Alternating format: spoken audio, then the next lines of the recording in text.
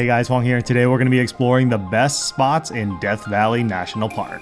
Death Valley, despite the name, is a beautiful and unique place with over 3 million acres of land and plenty to see and do. Whether you're a photographer, hiker, or just looking for an adventure, Death Valley has plenty to offer. In this video, I'll also be adding things to know and tips for staying safe throughout the park.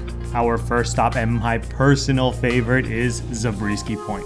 This viewpoint is one of the most popular in the park and for good reason. It offers breathtaking views of the Furnace Creek area and the surrounding Badlands. To get there from the parking lot, it's very easy. Just take the Golden Canyon trailhead, walk a short distance, though uphill, and straight up to the viewpoint. So as you can tell, paved path, fairly uh, easy to walk on a little steep. Ooh, we haven't even gotten to the top yet. And look, look at this. Oh my goodness, this is, this is absolutely wild. Look at this. Look at this view.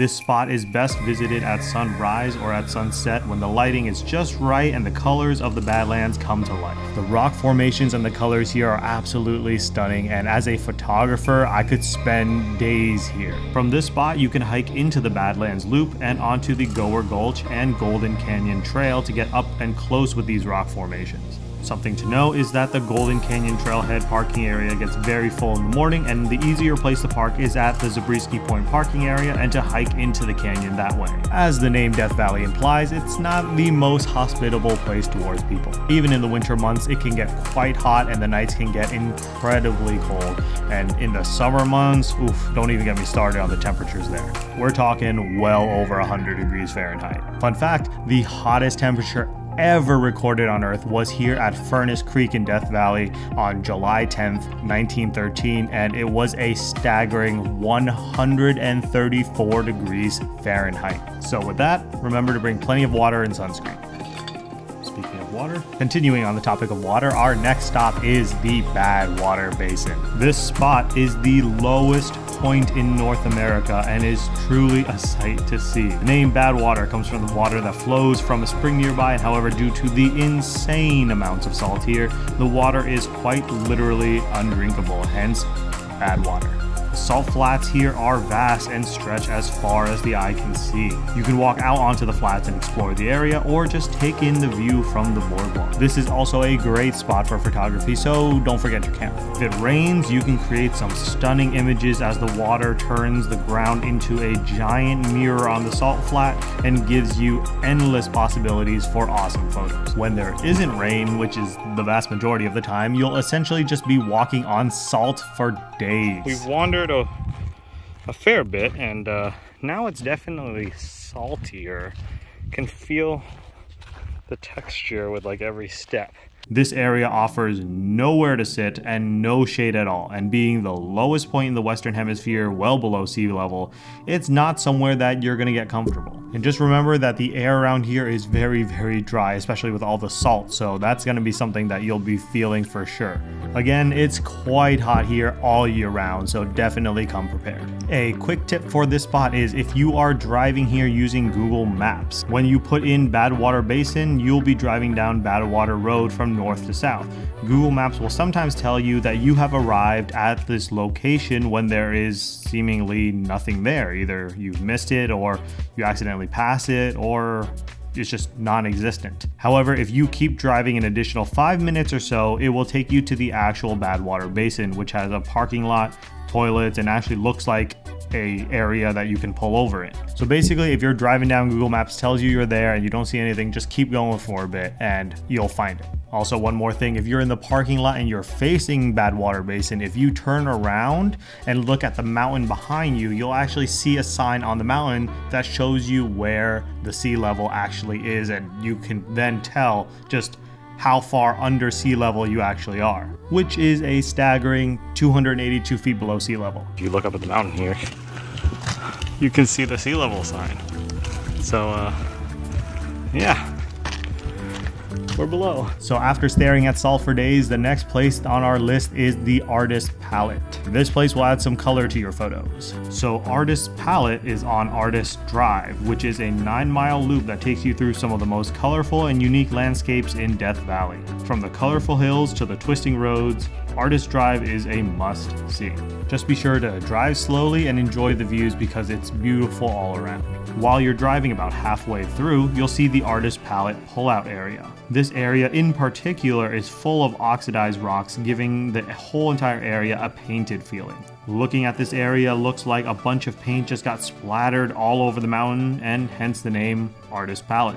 It's not too long of a hike and does provide really cool photo opportunities. So as I said at the beginning of this section, Artist Drive is a 9 mile loop and while that may seem long, that just puts into perspective how big Death Valley actually is. Many of these spots can be quite far away from each other and sometimes hours away that will require some planning beforehand to get to all the spots that you want to most efficiently. Speaking of hours away, the next spot is pretty far out there but is very unique and very worth it if you're willing to make the drive, and that is the racetrack. The playa or dry lake bed where the racetrack is located is a unique and beautiful natural feature. These tracks themselves are fascinating to observe as they are imprinted into the mud by rocks that have been carried along by strong winds, ice, and water. It looks so cool because it looks like these rocks are just racing around the track, hence the name. The surrounding landscape is rugged and awe-inspiring with towering peaks and you can get some amazing photographs with the sailing rocks here. The racetrack is also a great destination for stargazing as the clear, dark skies provide an excellent view of the stars and constellations as you are surrounded by mountains blocking out all the light. However, a lot of Death Valley is actually great for stargazing because there's just so much barren land around. So there are just so many places to see in Death Valley and you probably won't have time to cover everything in one day. So you'll probably need a place to stay. That someplace could be the Furnace Creek Ranch. This historic ranch is a great place to relax and unwind after a day of exploring. The ranch offers a variety of accommodations from camping to cabins, and there are plenty of activities to keep you entertained from horseback riding to golfing. This ranch will be your oasis in the desert. Moving along to spot number five on our list is the Ubehebe crater. This volcanic crater is over 600 feet deep and half a mile across and is a must see for anyone visiting Death Valley, especially if you're going to the racetrack area because this is along the road. The hike around the rim is easy and offers great views of the surrounding area. Just be prepared to bring a lot of sunscreen and water as it can get very, very hot out here. You can also hike down to the bottom of the crater and it's only about a half mile hike and about 500 feet down. That's pretty cool. But just remember that the hike itself is pretty steep and all that distance that you're going down, you're gonna have to go back up. The trail itself is also not hard rock, but it's actually loose gravel, which makes the hike a bit harder as well. Just picture hiking on sand versus hiking on a sidewalk. The sand definitely takes a toll on you a lot quicker than the sidewalk would.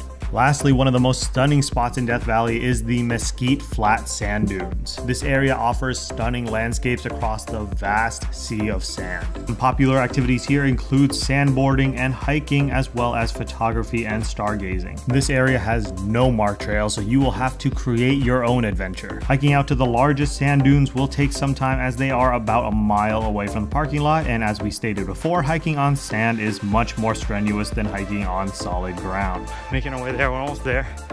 There's so much shoe uh, sand in my shoes. I can feel it with every step. But there's no time to clean them out. Sun setting. We don't have a ton of time. I really want to get this shot. So I think this is it. I think we made it to the tallest point. Have a camera on a tripod. I'm gonna go over there, take some shots real quick. Gonna look super cool. But we made it. So uh, Luke is enjoying himself. We're on a, I don't know if you can tell here, but we're on a dune. So uh, he's, too bad you're facing the wrong way. We need to go the other way. Woo, look at that. Look at that sky. Gorgeous. Whoa. Oh yeah. I think I carried two sand dunes worth of shoes or sand shoes. The views here are absolutely stunning and so stunning as a matter of fact that they actually use these dunes to film part of Star Wars Episode 4 A New Hope. As with all of the park, but especially here because there are no trails, definitely do be careful and watch out for wildlife. There is still plenty of wildlife even in the desert, and the most dangerous things out here being poisonous snakes, scorpions, and spiders. So be careful where you go and watch your step. Personally, my advice is to go in the winter early spring, late fall if possible, because the weather is just a lot better and you won't have to worry as much about a lot of the wildlife because it's too cold. That'll make your trip to Death Valley a little more pleasant. That being said, make sure you add Death Valley to your bucket list if you haven't been there already because it's just so unique and absolutely beautiful. The closest major airport to Death Valley is in Las Vegas and is about a two hour drive from the Vegas Strip to Death Valley itself. Again, be prepared to do plenty of driving once you get here because the park itself is very large and bring plenty of water. That's it for this video. Thanks so much for tuning in. And if you have any questions or comments, or if you have a favorite place in Death Valley, let me know in the comment section down below. And I will see you guys in the next one.